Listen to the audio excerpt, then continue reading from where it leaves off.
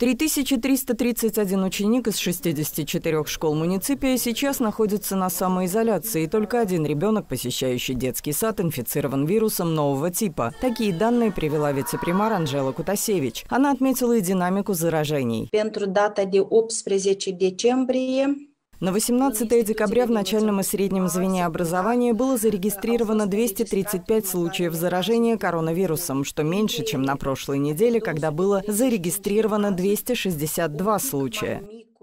На заседании шла речь о возможном закрытии на карантин детских садов. Было отмечено, что такой необходимости сейчас нет.